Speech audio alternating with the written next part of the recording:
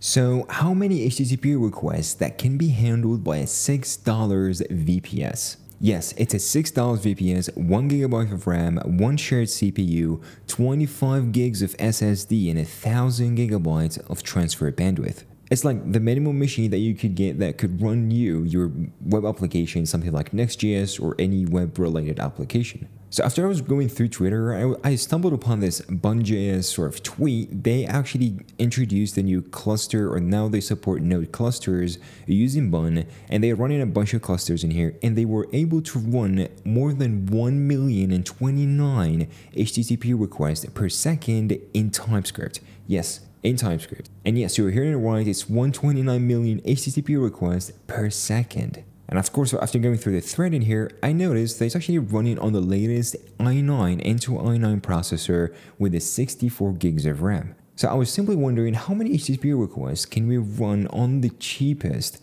VPS provided by DigitalOcean or Hetzner in here, and is it actually performing enough to host your next SaaS application or your next startup? Well, let's go and find out throughout the video. So if you're wondering like what is a VPS, Google has a pretty good definition in here. A VPS is simply a virtual private server. That means you are getting your own private server. You control the server. It's like has an operating system. It's like a virtual machine that is hosted somewhere, usually provided by one of these server providers like DigitalOcean or Hetzner or GCP like Google Cloud or AWS, any of those kind of things. And it would be like completely isolated environment. You can do whatever you want on it. You can host, install dependencies, delete, do whatever you want with it. And that's the cool part about it. So for server providers, there's actually two best ones and the cheapest ones. So Hetzner in here is the best one as far as I've seen on Twitter and people talking about it. I haven't tried it personally because I tried to create an account twice and I got this message, like automated message that, oh, I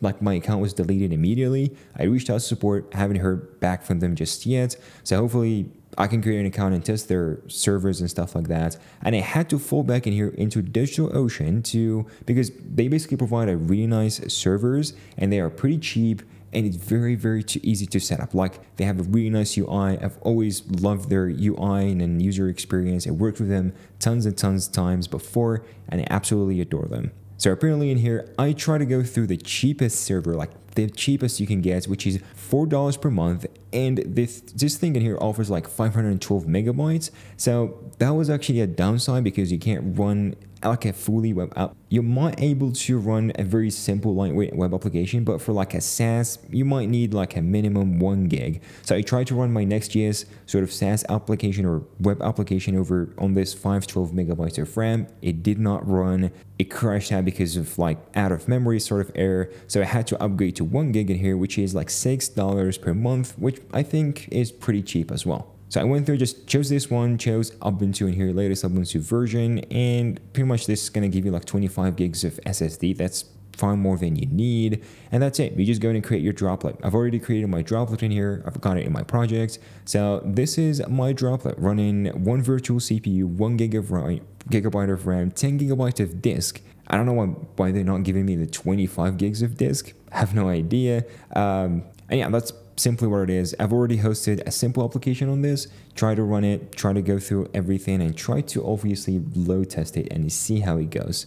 And I also noticed a tweet from Levels.io, the guy that runs all his startups and businesses on a single VPS, like startups that are making more than 78k per month and more, they all been running on a single VPS, and that VPS costs around like 384-ish dollars per month, and it has like 16 CPUs and 64 gigs of RAM. So that's pretty impressive. I know that's a huge server, but still running all those services and getting that much of revenue from all these services and you can just imagine that's actually running on this just $384 per month, a single VPS. That is just mind blowing. And it even shows like the stats of the CPU usage and the memory usage and bandwidth and stuff. It never crosses like the threshold and it always runs perfectly fine. Taking that his ups gets a lot of traffic. And he explains in here the graph means that we use about 6 to 12 CPUs of the 16 CPUs available. That's super cool. So what about the benchmarking? We're going to use a cool tool here called OHA. I don't know, it's called Higher or something.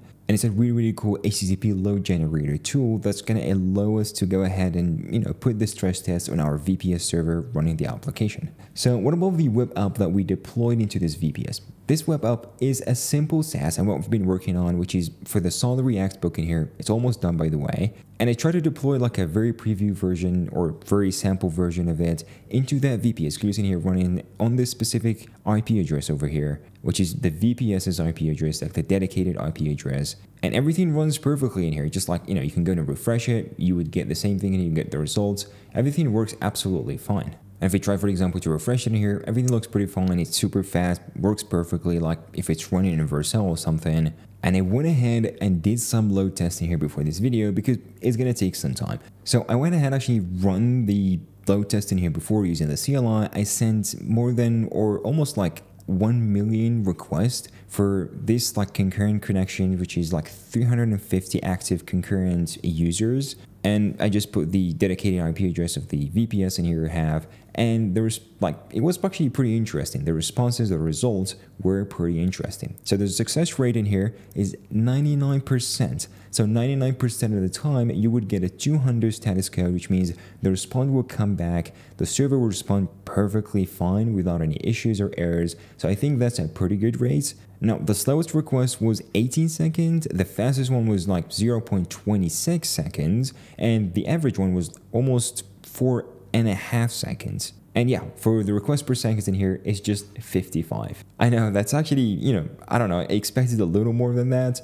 So 55, I think for a very small one gigabyte of RAM, $6 VPS, I think that's pretty, pretty fine. And yeah, remember, it's not running like what Bun is running, just running a server. This is running more of a web application, like a fully fledged Next.js SaaS web application, which means it requires more RAM, it requires more resources. It takes time to respond with the actual HTML web page and stuff like that, and JavaScript. You know what's happening in you know an actual web application versus just an API or a node server. So I think that's still pretty impressive for me because it's very good for the amount of requests it's receiving per second. The total data that was received in here is 2 gigabytes. Yes, 2 gigabytes. Oh yeah, and for the response time histogram in here, it's simply telling you that in average, a response takes around 5.8 seconds to receive to get received. This is likely for like 39,000 requests, and you can get the point in here from the rest of the requests. Only one request made it less than a second, which is